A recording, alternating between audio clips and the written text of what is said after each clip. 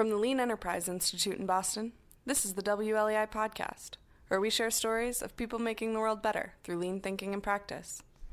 For more information about LEI, including how we can help you apply lean thinking, please visit lean.org.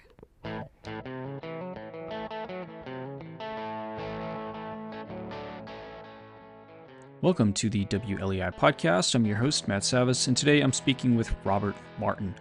Robert is an influential software developer. He's worked in the industry for over 50 years, and he's the author of 14 books, including Clean Code, a handbook of agile software craftsmanship, a seminal book in the industry, and he's one of the original signers of the Agile Manifesto. Over the course of the conversation, we discuss a number of subjects, including uh, software craftsmanship, what it is, and the issues it aims to address. And we also talk about the challenge of mentoring the flood of new programmers entering the industry, and uh, more fundamental concepts like balancing speed and quality. And of course, we discuss AI and what the future of software could look like. Note that this conversation is part of LEI's Design Brief series, which is our weekly newsletter devoted to improving organizations' innovation capability. And this latest series is on the subject of craftsmanship. To subscribe, check out the link in the show notes. And with that, let's start the conversation. Hi, Bob. Welcome to the WLEI podcast. Thanks so much for joining me here. My pleasure. Uh, you know, we, we always kick things off with just brief introductions. LEI almost never talks about software. You're a software guy. Turns out, sort of an influential software guy. I was a little embarrassed when we first spoke. I had no idea I was talking to somebody who's had such an impact on the industry. But let's start there. Uh, if you could offer uh, an introduction to yourself for our audience. My name is Bob Martin. I've uh, been a software developer for uh, 54 years, something like that. It's been a very, very long career so far. Uh, I'm the author of many books and papers, and and I give lots of talks at conferences and things like that. And I do a lot of podcasts as well, similar to this one. Um, so yeah, I've I've been around the software industry a very good long time. Uh, I was also one of the uh, original signers of the Agile Manifesto, which which drove the, the software industry towards the lean camp uh, about 20 years ago. Yeah, so um, I guess we can talk about the connection to lean in a little bit, but uh, LEI, we always try to frame things up in terms of uh, problems to solve. Uh, a lot of people approach lean tools as just uh, tools. You know, there's the toolbox. Go ahead, start whacking away, without any sort of understanding of, uh, you know, what, what problem are you trying to solve with those tools. And so I thought we could just kind of start there. You know, what what what do you see as sort of the biggest problems facing the software industry industry today? Probably the biggest problem facing the software industry is a demographic problem. Um, our industry grows at an enormous rate. Uh, the the number of programmers in the world doubles about once every five years. At least that has been the case up to now, and I, I don't see any reason for that to stop. We're kind of in a uh, a brief uh, economic slowdown at the moment, so all the programmers out there listening might go, "Well, I'm having a tough fi- time finding a job," but if you average out over the decades, you get this factor of five every every decade kind of growth, and what that means to us is that it's impossible to hire enough experienced people. The uh, the the newbies out out um out outweigh the oldsters by three or five or six to one. And that makes it very hard to communicate the lessons learned, and it makes it very difficult to to have enough enough experienced people to teach the new people coming in. So there's a, uh, a this principle of perpetual inexperience within our uh, industry. Well, how, how does that manifest? What are the what are the consequences of that? Well, the, the biggest manifestation is having to repeat the same errors over and over and over again without without learning the lessons, right? And and those of us who have paid the price and made the mistakes too many times uh, have tried to exert our influence by writing books and giving talks and and doing many other things like that. But it's a um, uh, it's kind of like swimming upstream. It's it's a difficult task because the, the flood of people coming in is so large that the message going back the other direction gets gets overwhelmed. And so we wind up in the same positions, making the same mistakes uh, over and over and over again. So you you developed this idea of software craftsmanship, and, and, that's why we reached out to you originally. LEI is putting together a series on this idea of craftsmanship, principally in hardware, where the idea of craftsmanship has been around for a very long time. But in software, that was I'd never heard of it before until uh, a, a gentleman we're we're friendly with in the industry. He had just told us he had come from a software craftsmanship conference. I thought, well, what, what is that? That doesn't even make sense. What is software craftsmanship? And uh, I asked where could we learn more about this, and your name came up. Turns out you've you've written a whole book on software craftsmanship. You've led sort of a movement around software craftsmanship, and you know, pardon my primitive understanding, but um, it's it sounds like craftsmanship in software could be a method to try to address those problems when you have new people coming on acquiring know-how is a big challenge and if you can develop a i'm going to use a sort of lean term here, but standardized method of doing something, it becomes easier to transfer knowledge or the best way of doing something. Um, is that an accurate understanding, or I guess you know what? Could you share what what exactly is software craftsmanship, and how does it address the problem that you've just described, if it does at all? If I boiled down the concept of software craftsmanship to one soundbite, it would be pride of workmanship uh, a a programmer going home at night, looking himself in the mirror or herself in the mirror, and saying, "You know, I did a good job today." Uh, that's not a very common experience. Uh, most programmers uh, have the kind of opposite experience, which is, "I had to do a terrible job today." Because of the external pressures, because of everything going on, because of of whatever the environment is i was forced to do less than my best today. And the idea of software craftsmanship is the opposite of that. Wouldn't it be nice if we could say hey today i did a very good job. I could be proud of the work i did. This is uh, manifested through a set of principles most of which are you know do a good job. Uh, one of the principles for example is the boy scout rule uh, which is always we have this this term in software called checking in. We check in the work we did today into the base of code that that is growing. Always check your code in cleaner than you checked it out. So when you check it out to work on it, you put it back in and it's better. Always make it better every day. That's one of the principles. We're also uh, we also foster a set of disciplines um, which are similar to the idea of standard procedures, but but they're not exactly procedures in this case. They are disciplines of behavior.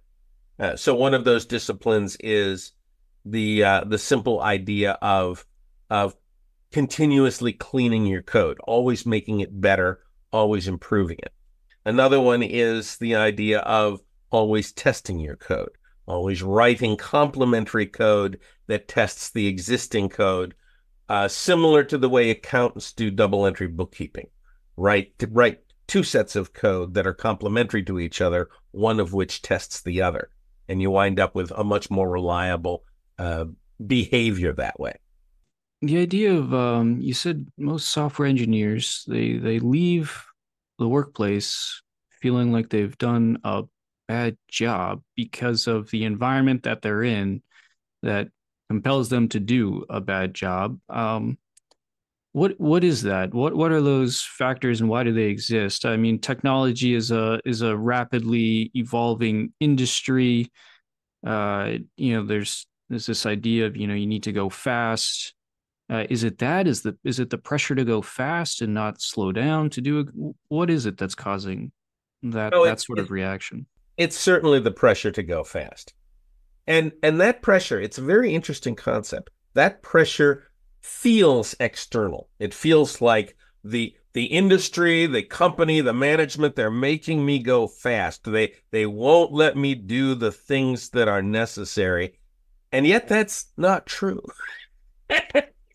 if you ask the businesses and you ask the managers about this, they'll say, well, yeah, of course we want everyone to do a good job. There is this um, this feeling that if I don't go very fast, I must not be a good programmer. And therefore, I must go very fast. And therefore, they are making me go very fast in order to be a good programmer. There's this uh, very interesting incorrect rationale that gets applied. And I, I don't know exactly where it comes from. I, I think it is is the idea of self worth. You know, as a young programmer, I experienced that myself. Right? As and that was 50 years ago. you know, but I I understood that uh, people were counting on me to make deadlines. People were counting on me to meet my estimates. I would always give optimistic estimates because that's what they really wanted to hear. And I, it took me a very long time to learn that that uh, estimating is something that you do pessimistically, and estimating is is something that is never a promise, and estimating is something that you can continuously revise and refine as you learn more. Uh, probably has spent a decade and a half learning that lesson. so, so this is something that you think just lives inside of the typical engineer's mind that the a good engineer is a fast engineer? Uh, I, I think so. Yeah, I th- I think it's part of the training. It's part of the mindset. It's if you uh, watch the videos on YouTube or you you uh, see the um, the other programs that teach programmers, they concentrate on speed. Yeah. Speed seems to be really important and and by the way, I mean, speed is important. Business runs on speed. There's no doubt about that. Business runs on estimates. So the pressure is not entirely internal, but the the the need for speed in business cannot translate directly to the programmers. The programmers can't evaluate their self-worth based on on that driving for speed. So, because so, there's also the the the other uh, driver, which is you also have to do a good job. You also have to produce software that works properly, that satisfies the requirements. So there's this balance that needs to be struck, and the balance always seems to shift over to the the speed side. And I think that's much more internal than it is external. Well, how do where does quality where does quality live in the spectrum between going you know going fast and doing something well. I guess how important is it and and how do teams manage quality is quality managed? I guess that's my answer. Um, it's a it's a wonderful question. Um, uh, there was a movie long long ago marlon brando starred as uh, uh, mr christian on mutiny in the bounty and and at the very end, the judges of William Bligh, the captain of, of the ship, said to him, You know, we strive to uh, promote captains who come from the ranks of gentlemen, because if justice be not aboard in the heart of the master, it be not aboard at all. That's similar to the idea of quality here. Quality is is something that is internal to the programmer, internal to the organization everybody has to understand uh, that we are after a good product. It has to be done quickly, of course, but it also has to be a good product. And that emphasis is not well communicated and it's not it is not well ensconced in the typical programmer's mindset. Speed overrides quality. Now you get you get a lot of this um, in in the business mindset. Um, so, for example, a programmer might go to managers and say, "Well, you know, I could make this better if I had another two days," and the manager doesn't understand what that means. What do you mean better? It, it seems to work now. How, how, what do you have to do to it to make it? Why would it be better in the first place? There's this lack of communication and so the uh, manager puts back pressure and says, "Well, I mean, would one day be enough?" That that happens a lot. And and the problem there is that the programmer has surrendered their view of quality to someone else. They're asking for permission to make the product good. and and that's something you never want to do. You don't ever want to make ask for permission to make the product good. Making the product good should be the prime directive. Okay, it's got to be fast. We get that, but it also has to be good. And you should not have to go to someone else who does not understand what that quality means and ask them for the permission. So, for another example, um, a programmer a programmer uh, offers an estimate, says uh, uh, this this task will take me a week. Manager will push back on that, of course, because they should. The manager will say, "Well, is there anything you can do to make that less than a week?" And then the programmer offers an option. Well, if I don't write tests, then I could probably get it done in three days. That is the wrong thing to say. It is the wrong thing to offer. And the manager does not understand what those tests are about and why those tests are necessary. The manager will then say, Oh, well, do that. and you get into this very unfortunate uh, communications, miscommunication. And the miscommunication is based on a, a fundamental misunderstanding of what the programmer needs to do to make a good product and what the programmer needs to do to go fast. Well, it also sounds like there's a lack of shared understanding of what a good product is. So, how do you define quality? I mean, are there quality standards that those two people can look at and say whether or not they're achieving them?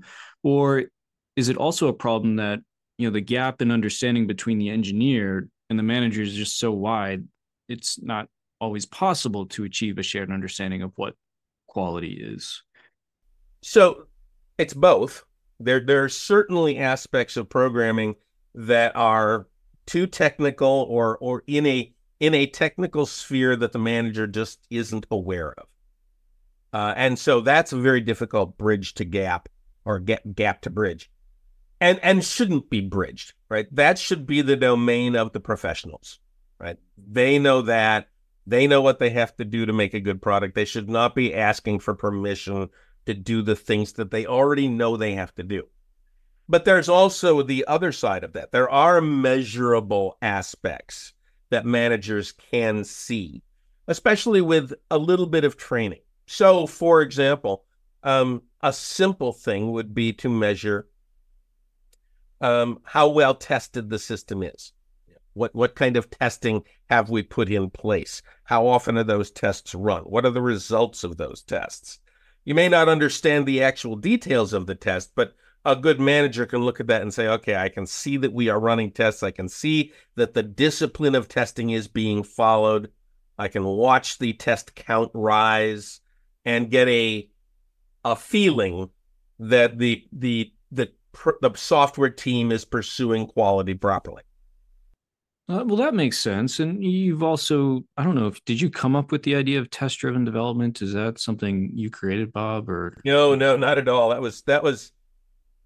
I guess the, the guy who gave it a name was Kent Beck, and the guy who formalized it as a discipline is Kent Beck. Though the uh, the roots go back very, very far. Uh, so, for example, the um, the avionics software on the Mercury space capsule was written uh, in a in a discipline that we would today call test driven development.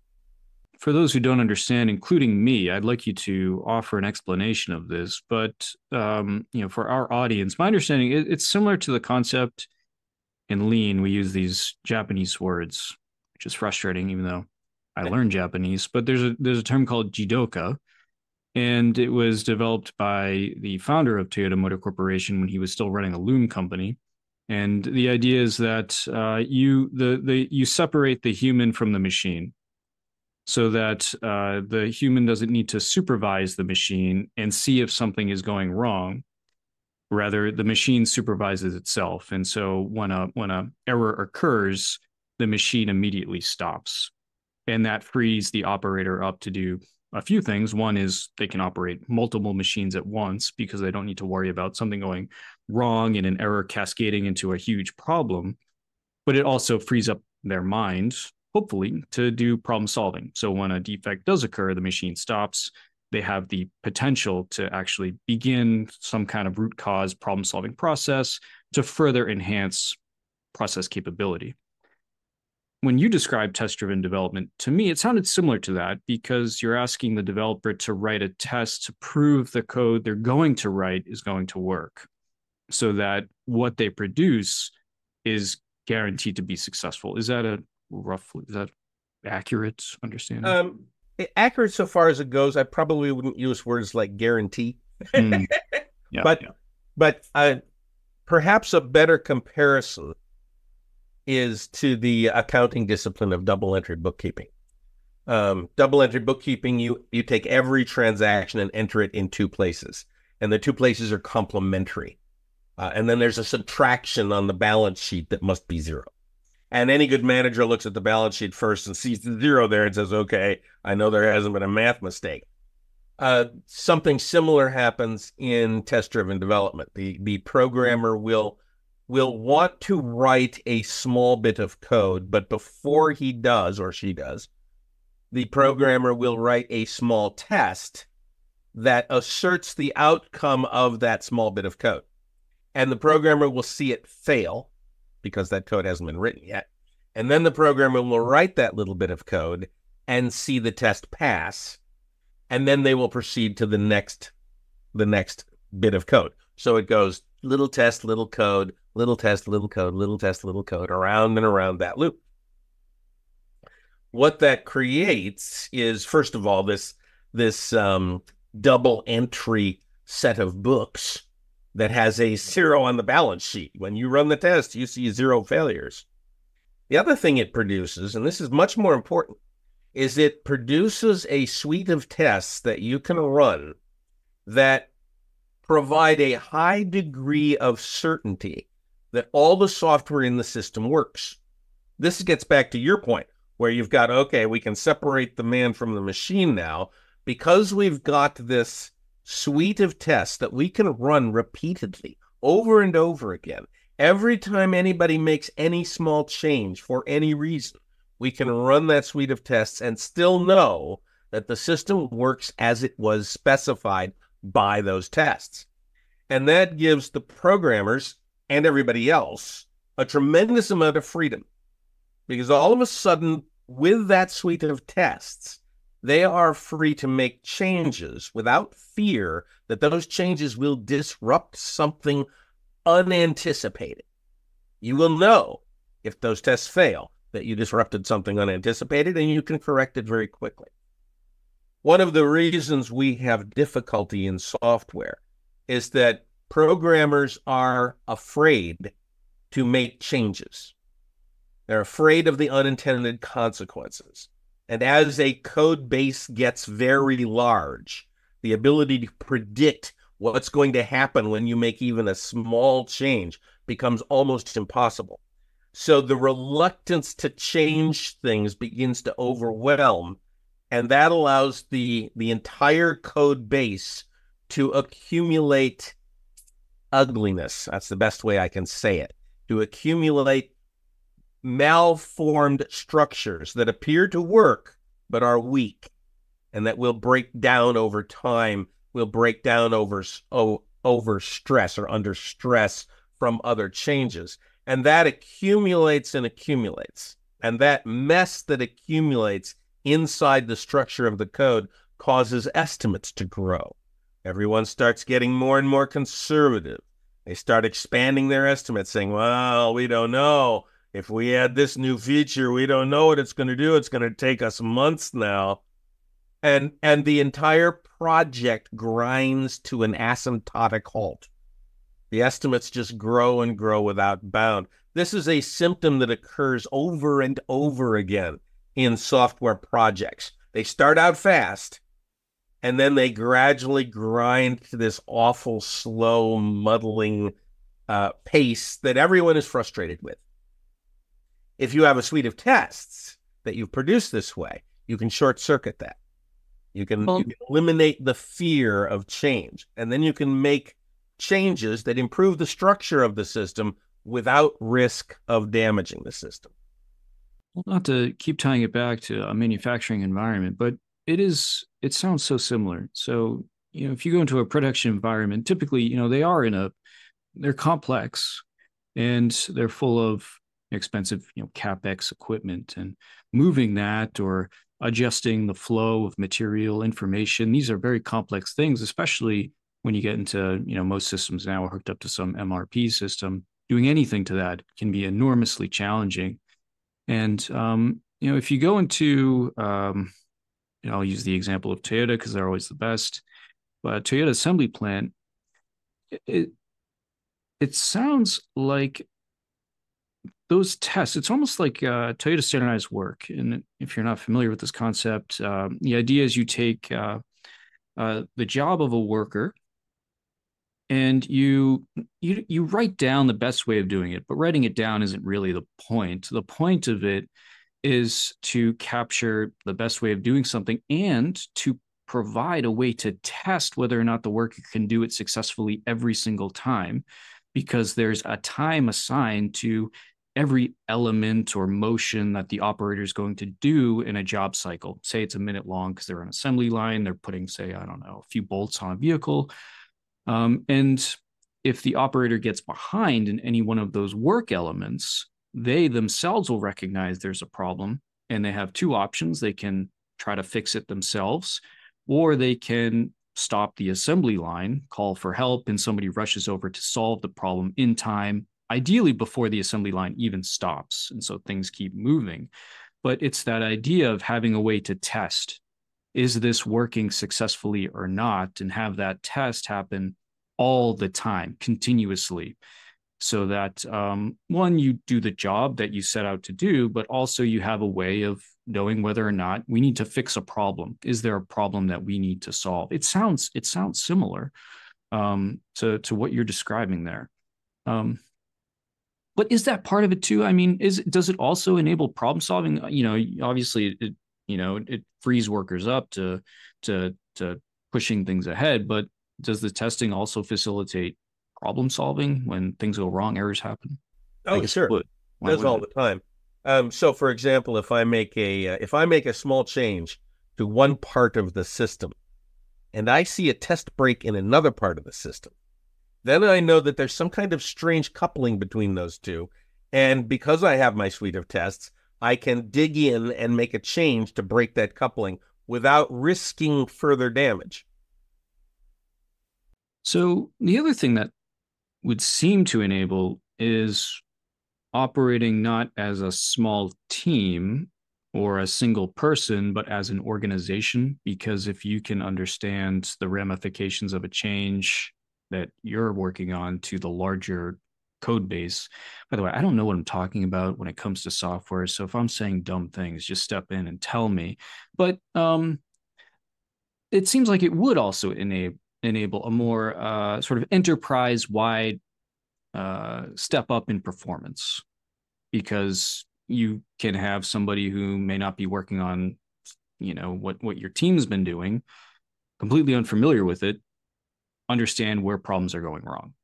One of the problems that that is um, frequent in large teams or large organizations with multiple teams is that one team will have to consume the work of another, but will find problems in the other in the other team's work, unanticipated problems that the first team didn't even think about uh, and and they'll struggle over that and they'll fight over it and you know well is this your fault? No it's my fault or is it your fault? He goes back and forth with a lot of finger pointing. Eventually it gets worked out. But if those two teams have a suite of tests that they have they have proven that their software works using this suite of tests then when one team consumes another they can go to those tests and look at the tests and say okay these tests define how that how that code works in there and that's what we thought, or that's not what we thought, and we need to make these changes. So there's definitely a kind of lubrication with the with a testing uh, organization like that. There's a lubrication in getting multiple teams to working well. So how pervasive is this way of working? Is it it sounds it sounds like it's uncommon. Uh, if I have that wrong, please correct me. But if it is uncommon, why why is that? Is it just because of that speed mindset? So it's um it kind of burst upon the industry 20 years ago uh, for a whole bunch of reasons. One of those reasons was that Kent Beck kind of published a book and talked about it.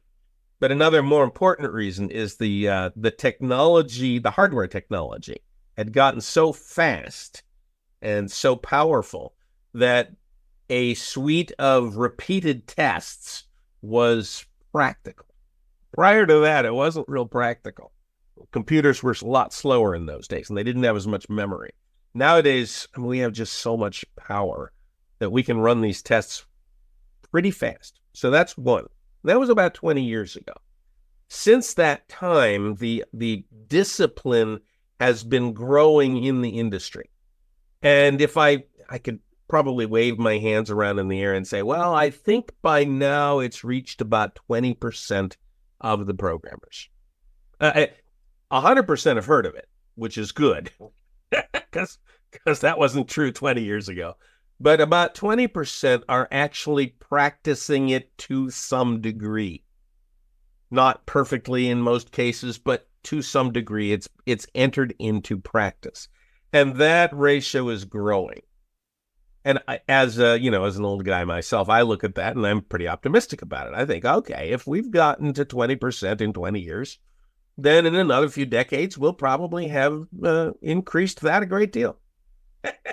That's the way I look at it. Now, you asked a different question. Why isn't it, why hasn't it grown further? And the, and the answer there is we are essentially telling people to change the way they behave people don't like to change the way they behave especially if they learned something in school you know and they they got a discipline going uh, or a routine going and they know how to get it done and and they don't want to be told to change the way they work. So there's that kind of inertia that we face all the time. Uh, and you know that's just a matter of time and effort and pressure.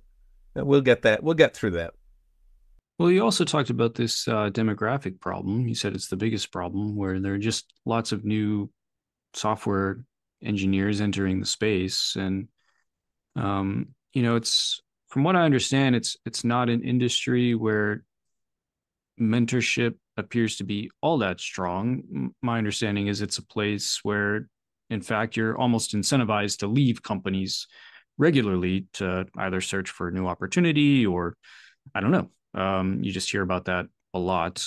Um, and so, what is the state of of mentorship in software, and where where do gaps exist? Do you think? Um, yeah, mentorship is a real problem. We we don't have a we don't have a culture of mentorship within so- the software industry, uh, and one of the reasons for that is, is that the incoming number of people is so large that there aren't enough, enough mentors. Um, one of the first books on software craftsmanship, this goes back about 20 years, uh, started to suggest the idea of an apprenticeship model.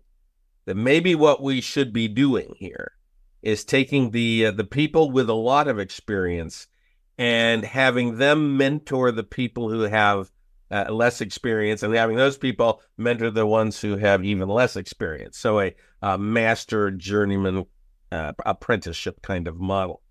Um, that has that has appeared in a few places. There's a few places who have adopted that kind of mindset, but most places have not. Most places say, "Well, if you've got a degree, you can just be a programmer and go ahead, join the team, and here's the code, and go to way, guys, go. And very little, um, very little structure that would communicate hard, hard learned lessons towards the young people coming in. The other side of that, that that is even, I don't know if it's worse, but it's it's a, another problem, which is that the the college environment where you learn software is nothing like the work environment they're completely different. Uh, and the lessons you learn in college are not the lessons you need to have learned uh, about the way to work in business, the way to work in the industry. So there's a, a big unlearning. There's a, a big um, uh, moment of shock as a young programmer uh, gets their first job?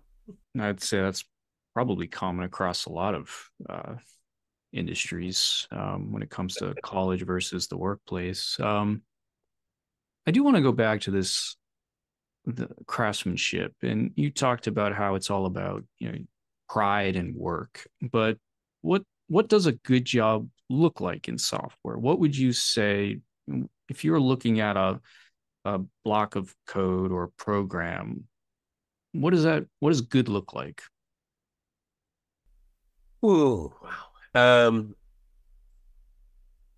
I could I could talk about what good code looks like, um, but I don't think that's what you want to hear, and that's not really what what craftsmanship is about. Craftsmanship, although it should be producing good code, well structured code, nicely arranged code, it should be about the way the programmer behaves. So, um, an analogy that I like to use you are uh, a patient uh, undergoing open heart surgery. You're having an out of body experience. Floating above the operating theater, you look down, you see the doctor operating on you. How do you want this doctor behaving? Do you want the doctor behaving calmly, not rushing, careful in everything that the doctor does?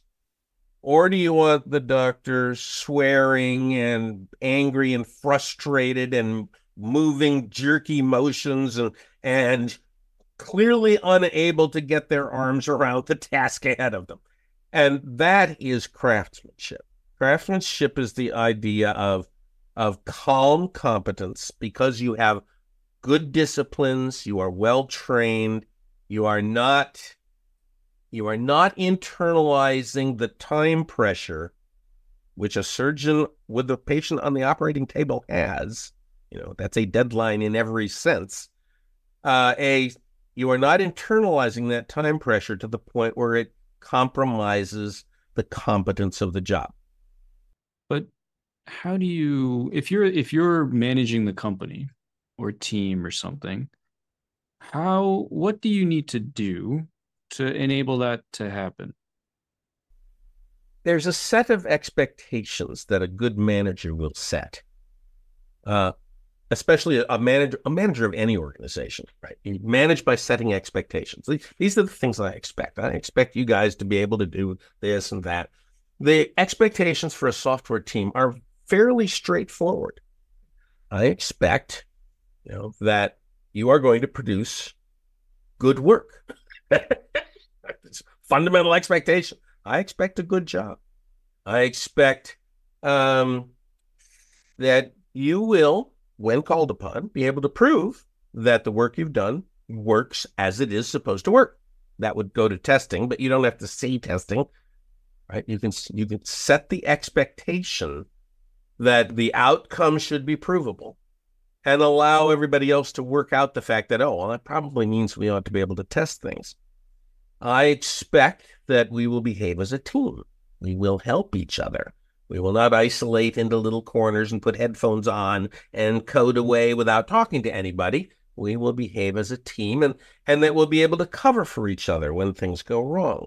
There's a whole set of these expectations that a good manager can set that will will drive a team or direct a team to adopt for themselves the principles and the disciplines of craftsmanship. The worst thing a manager can do is go in there and say, I expect you to do this discipline X. Do discipline X, everything will be great. Set set the expectations. The expectations are interesting because I give a talk on expectations uh, very frequently. I go out and I, I do this whole expectation talk. And one of the thing about these one of the thing, things about these expectations is they are they sound perfect to managers and customers and they sound insane to the programmers the programmers listen to the expectations and think well that's impossible i can't do that and then then it's in that struggle of of uh, understanding and converting the impossible to the possible that you get the attitude and the discipline of craftsmanship. Hmm. You can't compel people to behave a certain way. You have to create the environment for people to behave. Yes. Let them figure out how to do it. Right. But just let them know what the overall expectations are. And the expectations have to be reasonable and rational. Mm. Right? Like the product should work. I should be able to change it without horrible cost. Hmm. Well, there's I guess we'll look ahead now. I mean, there's there's AI. AI's been around for I don't know what. now there's generative AI, right? Oh, ChatGPT yes. released yeah. their latest model, and or OpenAI, I should say. And um, I can't I can't write software, but I have written some little programs that have automated some work I didn't really enjoy doing at my office. If I were to show you this, I don't know if you'd call it really bad, probably really bad. I have no idea. I have no way of assessing. I just know that when I hit the little button, it does the thing I want it to do, and that's that's that's great for me. That's good. But I have some concerns. but um, you know, one of them is, you know, I I wonder about as this as this technology you know people are going to grow up with this technology and they'll find amazing ways to use it. But including including developing software i presume. And um, we were talking to uh, a software executive and he said a problem that they're facing is junior engineers are using ai to create code but they don't they don't have the experience to understand whether or not the code it's generated is any good or not. But it's doing what they want it to do. And so i'm wondering if this extremely powerful tool may lead to the unintended consequence of instead of enhancing performance de- degrading performance and making us incapable of under- understanding that performance is bad what what is your take on what what is happening out there with this stuff? I mean, I wonder about are we just going to become too reliant on the machine and and become, I guess, dumber, but not understand we're getting dumber. I guess is what I'm saying. so, uh, um, the generative AI application. First of all, they're miracles. They're they're masterpieces. These guys incredible. really really good work, and it's and uh, the the the um, the applications can be very very surprising. But in the end, they are just tools. They are power tools, and it's going to take us a while to figure out how to use those power tools well. Yes, junior programmers will overestimate them. That will happen. Everybody's going. In fact, right now we're in the overestimating phase of what these tools can do because they they have been so impressive that we think they are actually better than they are. Um, once you dig in a little bit and push on them, you find the where the weaknesses are and how much you can trust and how much you should not trust. And we will go through a period of years working that out, and we'll figure out how to use these tools as appropriate power tools. Uh, they will help. There, there's no doubt that they will help. Uh, they'll help programmers. They'll help everybody. Right? If you were running a company and uh, you were to say, "Okay, guys, you can use these tools, but here's how we should use them." Um, if we were going to be using AI, generative AI tools to help write software, I would also want a a discipline of review. Uh, and that review would have to involve more senior people. Now, there's a couple of ways to do this reviewing idea. You can do it after the fact. You can you can have a programmer produce a bunch of code, maybe with an AI, and then you have that code uh, reviewed by uh, uh, someone a little older who can go through it and say, okay, this is good, this is bad. Another way of doing this is uh, a technique that that some of us have called pair programming or mob programming, where you have two or more people working on the same task at the same time at the same workstation. And one of them will say, well, let's get the AI to generate this little bit. And another one is saying, okay, I like what the AI did, except for that part there. Let's fiddle with that a little bit. And you get a, a much better integration of the skills of the people with the help of the tool. Any of those would work pretty well, I think. Uh, I prefer the the immediate mobbing pairing kind of thing as opposed to the after the fact review. But in some cases, the after the fact review, review is the only practical way to proceed. Well, besides generative AI, is there anything else out there that is exciting you in in software? Anything else that's exciting me? It's almost the opposite. Um, okay. Almost the opposite. We I grew up with Moore's law raging. Uh, we were we were doubling the speed of the computer. We were doubling the memory size of the computer once a year, once a year, every year and a half. I, we were just growing these machines uh, to an enormous degree. So I the machines I started out with uh, are, are are a bare shadow of the machines we have today. The capabilities that we had back then are minuscule compared to what we can do today. And there are that those adjectives are insufficient to describe the difference. And the difference is just unbelievably enormous. Um, but that stopped. That stopped around 2003, 2004. The speed of the computer stopped getting faster. Density has been getting better, but it's getting better at a slower and slower rate, and we are approaching the atomic uh, the atomic uh, um, deadline or the atomic limit. Uh, and so uh, Moore's law has, for all intents and purposes, ended.